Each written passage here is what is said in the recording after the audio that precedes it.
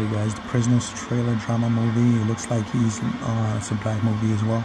Looks like he's beat down. He looks like a new of Washington. This guy's looking like Keanu Reeves and freaking on sick drugs and stuff.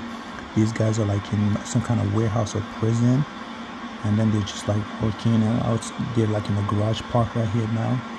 It's produced and by Ramin Bahrani, director of The White Tiger. What do you know about that? Let me know in the comments below. See you next video. Bye.